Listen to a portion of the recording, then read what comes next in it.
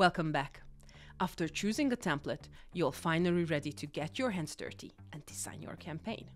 In this lesson, I'll walk you through the main functionalities of the Optimonk editor, but I also encourage you to explore it on your own because there's so much you can do here.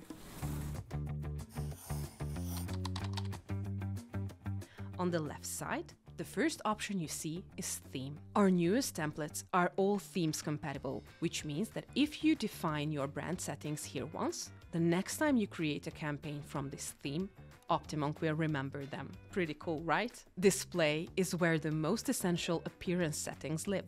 Under Position, you can choose where on the page you'd like your pop-up to appear.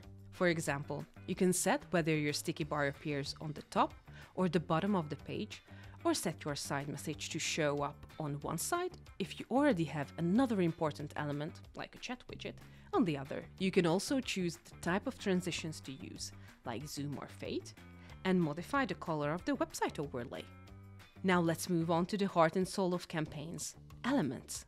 The Optimonk editor is a drag and drop editor, meaning you can simply drag new elements into the campaign and drop them exactly where you want them to be placed, just like I did with this input field here. Once you have the element selected, you can see all the options for this element on the right. Here, you can style the element, for example. Let's choose a background and a hover color and give its corner some radius. Under Add Elements, you will find all available elements sorted into groups. You can add input fields to collect phone numbers and first names, create a survey with feedback elements, or add the countdown or discount code element. Here, let's add a new input element to the campaign to collect our visitors' first names along with their email addresses. By default, we assume it's the first name that you want to ask for, but if you'd like to change the input type or the placeholder text, you can do it on the right. You may have noticed that if you have any text on your campaign selected, you have all these options to style the text. Select the font you want to use, font weight, font size, color, etc. You can even add your own font family by clicking on the plus icon. The last option we have left on the navbar is the dev mode. This is where you can insert custom CSS and JavaScript. So now that you have all these elements on your campaign, you need a clear overview of the structure to do some further styling. Here's a quick tip. Anytime you click on the website overlay, you'll see all the different elements of your campaign listed on the right. If you select any element here, you'll see all its styling options. You can change its background, adjust its sides and corner roundings.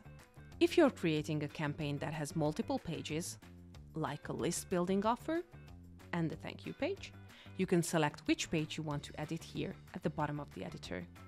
The last page you'll see here will always be called teaser.